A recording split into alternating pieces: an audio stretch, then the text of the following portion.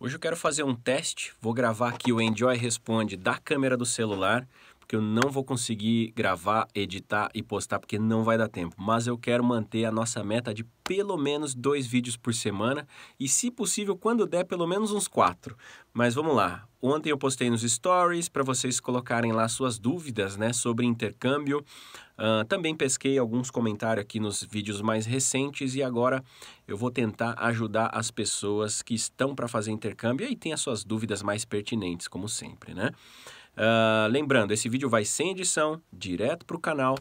Uh, e claro, se vocês acharem que vale mais a informação do que a qualidade, a montagem, edição, essas coisas, aí eu acho que eu consigo até manter uma consistência maior. Vamos lá. A primeira pergunta vem da Rosália de Souza, tá? A Rosália pergunta o seguinte: gostaria de saber aí qual, qual, é o preconceito, como é o preconceito ou racismo por ser negro na Irlanda. É, Rosália, vou tentar ser resumido, vou tentar resumir a sua, a sua dúvida numa resposta simples, mas com certeza é um assunto muito complexo, mas você encontra bastante brasileiros é, negros falando sobre o tema é, no YouTube, tá?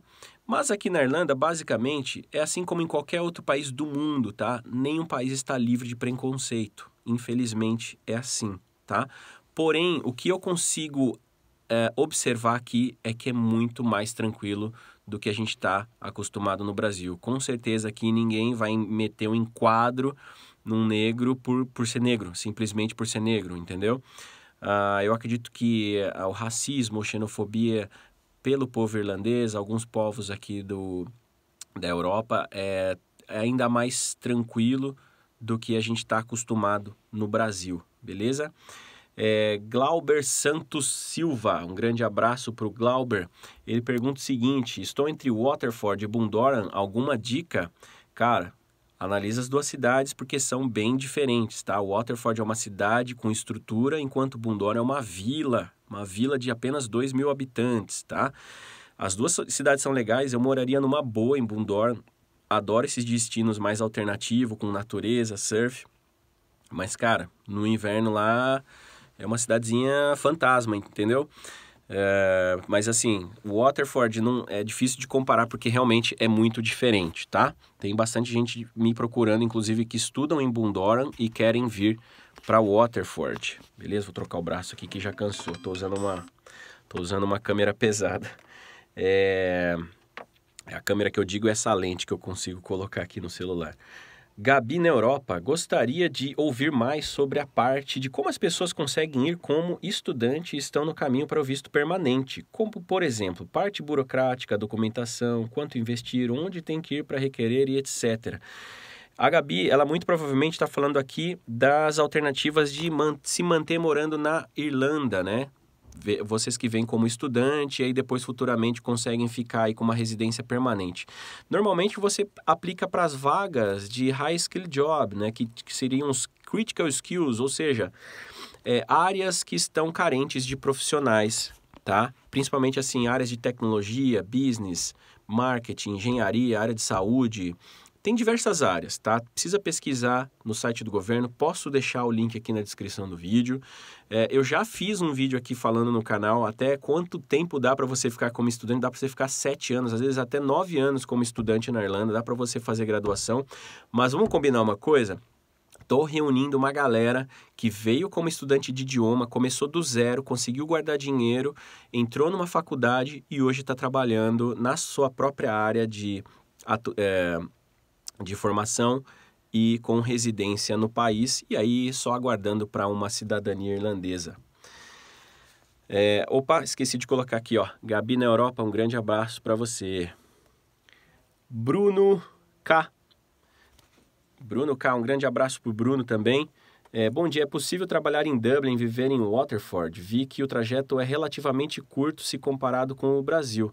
Não dá, cara, é longe, tá? São aí pelo menos três horas e meia de ônibus, três horas às vezes, dependendo do horário, duas horas e quarenta e cinco, mas a média é três horas de ônibus, tá?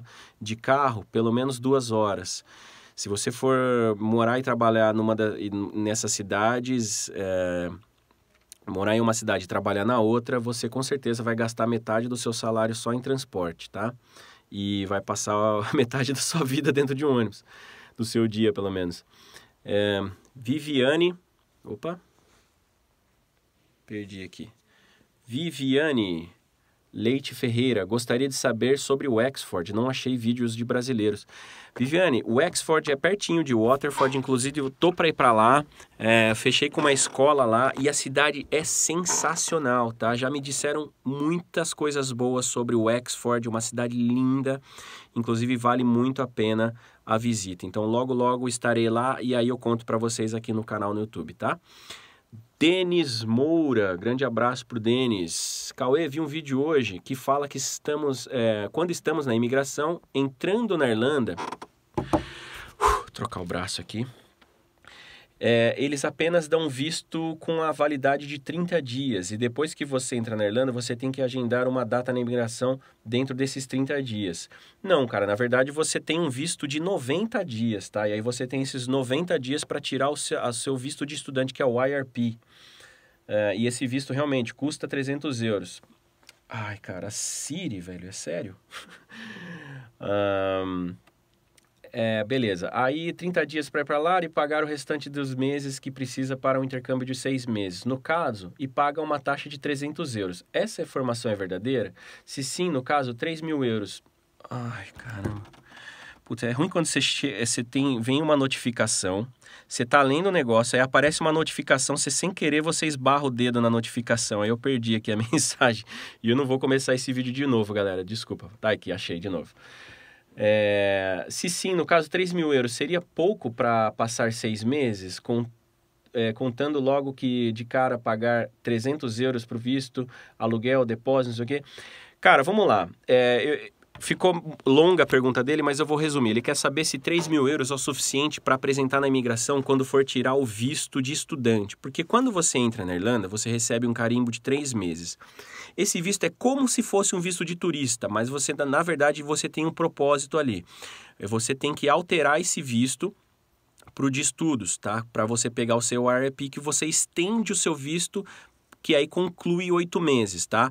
Não se significa que quando você chegar no seu terceiro mês e você trocar o seu visto, que você vai ganhar mais oito meses de visto. Na verdade, você só estende para até o oitavo mês, tá? É, uma coisa muito importante, galera, é proibido vir como turista na Irlanda, comprar o curso na Irlanda e trocar o visto como é, de turista para estudante. Tá? Eu sei que pode ficar confuso, mas nas leis imigratórias é preciso você vir com a documentação da escola em mãos para entrar no país. Tá? Se você não tiver esses documentos, você não consegue trocar o seu visto depois.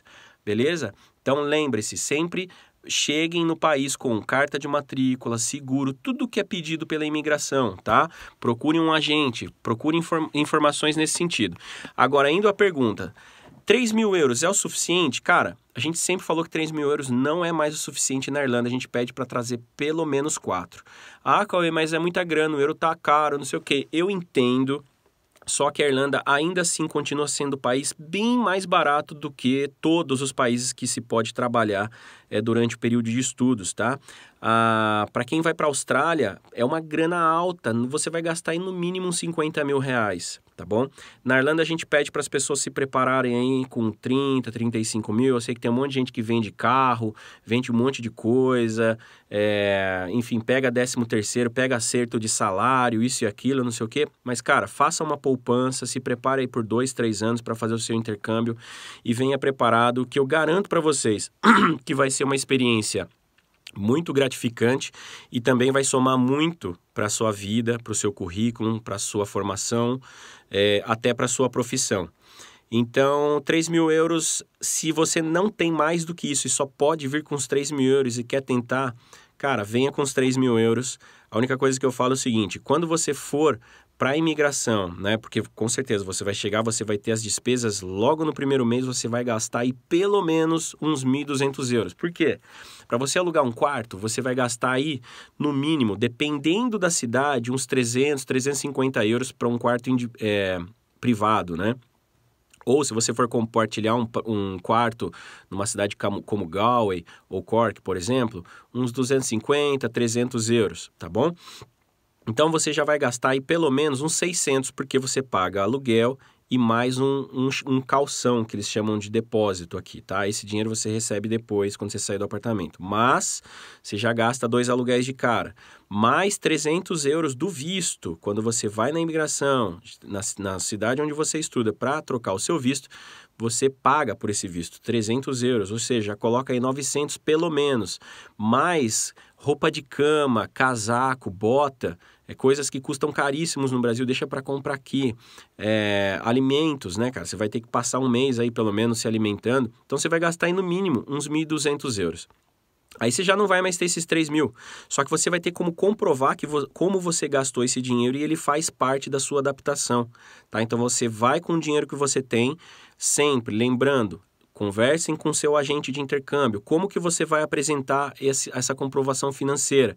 Tem todas umas regrinhas. Não, não venham só uh, com informações das coisas que vocês veem nos grupos de Facebook, nos grupos de WhatsApp. Galera, procurem quem trabalha com isso.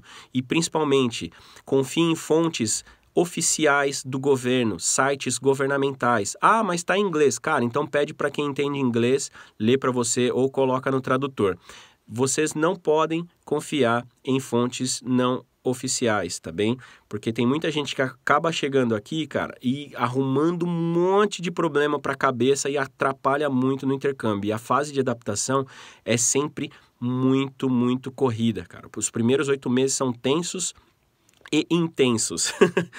é, mas muito gratificantes no final, porque na sua renovação você vai estar tá ali nos 45 do segundo tempo conseguindo terminar de juntar o dinheiro, renova o curso, mas aí já está tudo certo, você já tem onde morar, já tem dinheiro, já tem emprego, né? Você já começa a guardar dinheiro desde o seu primeiro dia e etc.